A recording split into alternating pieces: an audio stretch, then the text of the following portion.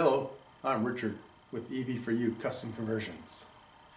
In this video we're going to answer the question, what has changed? The question we receive from time to time is what has changed? And what they're asking is, what is different today than say five years ago? Well, a lot has changed, but it really depends on the vehicle or the project.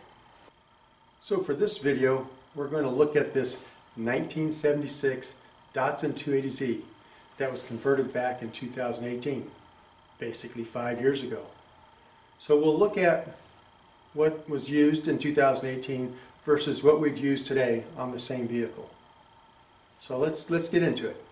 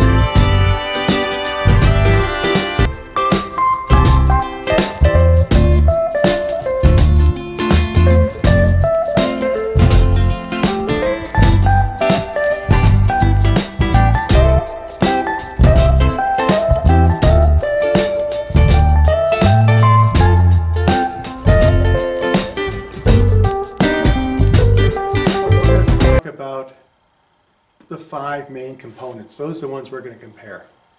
So the motor, the controller, the battery cells, the charger, and the DC to DC converter. Those are your five main components in an electric vehicle or a conversion. And so in 2018, uh, and this is true not only this the 280Z, but the 240 to 260 and 280Zs all use the same package.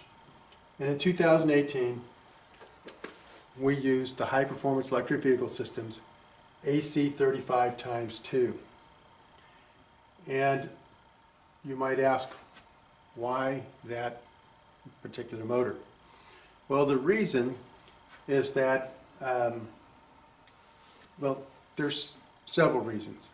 And, and basically, the EV4U mantra is safe, simple, reliable, and affordable. So it came down to weight, size, performance, and cost, as well as simplicity. Simplicity is reliability. And so, the high performance electric vehicle systems AC30 five times two. is kind of a Siamese motor. You have uh, two armatures on a common shaft and you have two stators in a common housing. And what you end up with is a 9 inch diameter by 20 inch long, 150 pound motor that will crank out 165 horsepower and 189 pound feet of torque at 4,800 RPMs. So you get the torque from zero, but at 4,800 RPMs, you have 165 horsepower. And so, um, you know, that's all well and good, right? Well, there's a little more to the, to the picture. We want a vehicle to be comparable when we convert it to the original internal combustion setup. And I, pretty much without exception, I can't think of any off the top of my head, but we usually exceed the, um, the statistics for the, um, you know, internal combustion. In this case, the stock 280Z puts out 149 horsepower at 5,600 RPMs and 163 pound-feet of torque at 4,400 RPMs. So you can see we're getting, you know, at lower RPM, we're getting more horsepower and we have more torque because we have this at zero. They don't build that torque till 4,400 RPMs. And so it was a nice match. You know, we don't want to go too crazy, although people can, but we're building a car that's basically just an electric version of the vehicle. And a lot of these uh, 280Zs, uh, this is a 1976, and it's a California car. And in California, 1976 and newer vehicles uh, are required to meet emission standards. And the 280s are kind of a hit and miss. And so, especially when we're talking about a car that's, you know, almost 50 years old. but that is a motivator for a lot of people to say, hey, I like my car and I want to keep it uh, uh, on the road, and this is a way that they can do that. So, high performance electric vehicle systems AC 35 times 2 we still use it. Okay, that's still the one that we recommend. You can look at, you know, other ways of doing it. Uh, you could put a Nissan Leaf motor in there. You could uh, use the um, NetGain uh, Hyper 9 HV, which would run the same voltage as we're running with this one. The difference is, uh, you know, the size and the weight.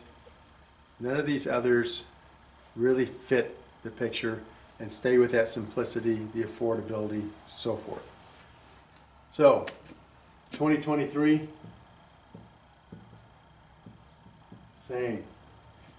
The Curtis 1239 E 8521, I believe it is, controller that uses dual controllers and so um, and these are 500 amps each, so it's 1,000 amps. Um, still use those, although I must say they're getting hard to come by.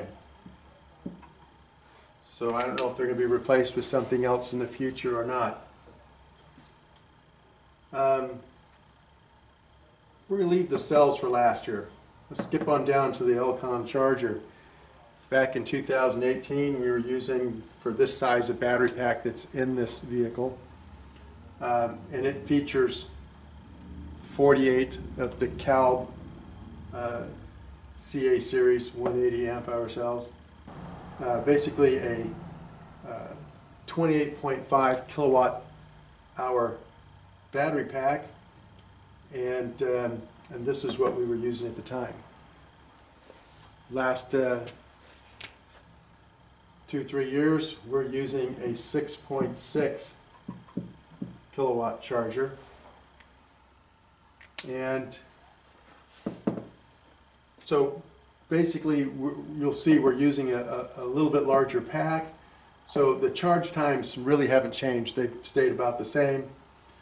Uh, the DC to DC converter, we used to use a 400 watt one on these, a lot of vehicles back then. This car doesn't have a lot of electronics on it or anything, so this was uh, more than enough, but now we use a 1000 watt DC to DC converter.